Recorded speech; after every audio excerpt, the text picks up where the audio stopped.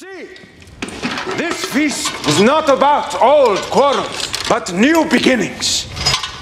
But new beginnings cannot happen with a traitor in our midst.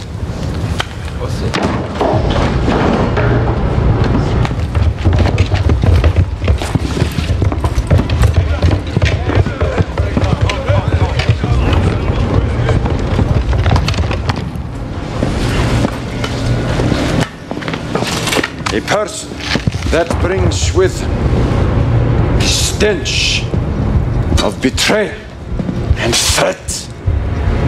Here, in the very room where Ethelred turned against his Viking ally, there is once more an oathbreaker among us. I can smell their ambition. I can smell disloyalty. I can smell their greed. Stop!